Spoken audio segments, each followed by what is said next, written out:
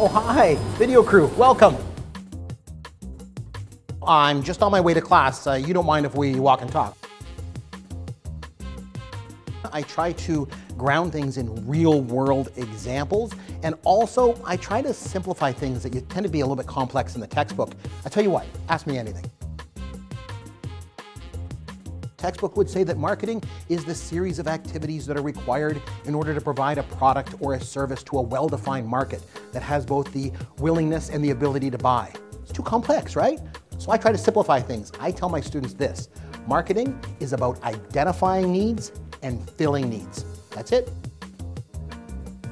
Try to connect with my students by uh, being as relatable as possible.